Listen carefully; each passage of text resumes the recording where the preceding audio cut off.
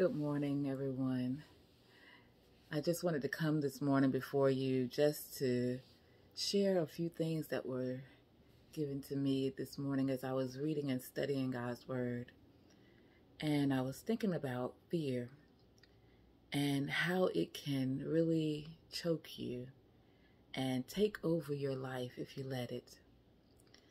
I'm going to tell you this morning, I was realizing how I've been really trying to live by writing out my scripts and making sure that everything was just right and that I wouldn't get anything wrong and that every word would be just right when I come across YouTube and and the videos and make sure that I don't say anything wrong.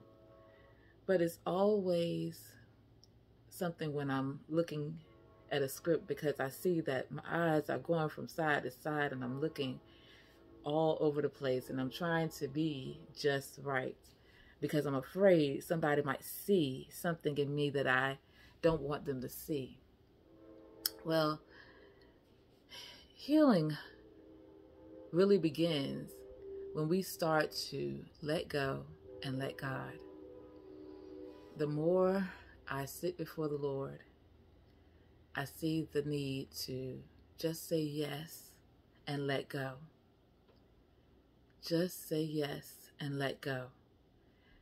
Every time I try to come before people and speak, I feel so afraid. I feel like my words are not going to come across as though they can receive it because I don't know what I'm talking about. However, God has given me something to say. He has given you something to say. And I want you to be empowered and encouraged this morning to realize and recognize that no matter what comes your way, don't allow the enemy to attack you to the point where you feel paralyzed, where you feel like you cannot come before people and just say what is on your heart to say. And uh, on that matter of the heart, um, I don't want to stay before you long this morning, but I want to share about the heart. This weekend, I, I just took some time away from social media and some time away from uh, my phone just for a little while, just to be in the presence of the Lord. And in that time, He spoke to me and shared with me how it is important to open our hearts to Him. If we are afraid, if we are doubting, then it's time to feel real, realize what those situations are stemming from, what they are rooting from.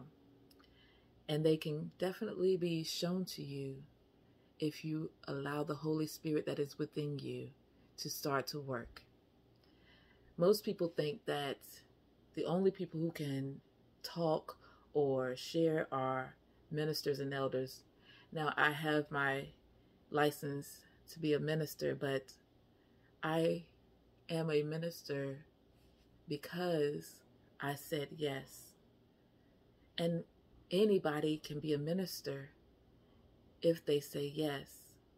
So serving others is where my heart is. And I don't want people to feel like they can't come around and see anything they can get from me because I am afraid to share and afraid to give what I know is true. I am so thankful to God this morning because when you open your heart and let Him pour in His love, then will you be able to do what you are needing to do for others. Let God pour in His love because God is the only one who can give love. Love does not come from yourself. You cannot give love, you cannot create love. Only God is love.